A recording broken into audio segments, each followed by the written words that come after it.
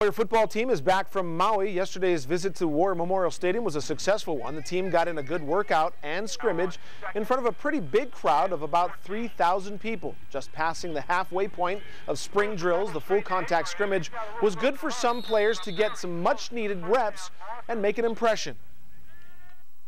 Spring training's going good. I mean, D-line as a whole, we're, we're real young and uh, we got a lot of competition in D-line, so it's real fun this spring.